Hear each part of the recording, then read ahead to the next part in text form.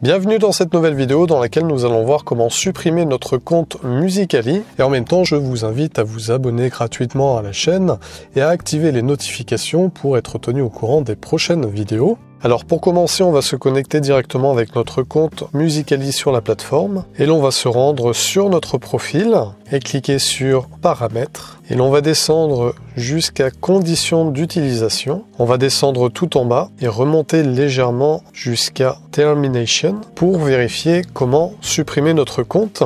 Et donc là, dans leurs conditions d'utilisation, Musicali nous indique bien que si l'on souhaite clôturer notre compte sur la plateforme, nous n'avons pas d'autre choix que d'envoyer un mail à cette adresse privacy.musical.ly. Effectivement, lorsque l'on retourne en arrière et que l'on vérifie tous les paramètres de l'application, nous n'avons pas du tout la fonction de suppression du compte. Donc si vous souhaitez supprimer votre compte Musicali, ce qui est préconisé sur les différents forums d'utilisateurs, c'est de tout simplement d'une part mettre votre compte en privé et soit d'envoyer un message à l'adresse mail que nous venons d'apercevoir ou bien d'aller directement sur le support en appuyant sur Centre d'aide. Et là, vous arrivez directement sur la page internet du support de Musicali. Vous descendez, vous sélectionnez la langue française et ensuite vous sélectionnez le menu tout en haut et vous appuyez sur Soumettre un ticket. Vous choisissez Signaler un problème et ensuite la plateforme en question. Et donc, je voudrais signaler un problème de, vous sélectionnez Inscription. Vous mettez votre nom d'utilisateur, votre adresse email et dans quelle information devons-nous connaître. Vous pouvez rajouter ce petit message. Bonjour, je souhaite me désinscrire de votre plateforme, merci de faire le nécessaire pour procéder à la désinscription de ce même compte cordialement. Vous validez en appuyant sur envoyer et à partir de là, il ne vous reste plus qu'à attendre que le support vous réponde pour la suppression de votre compte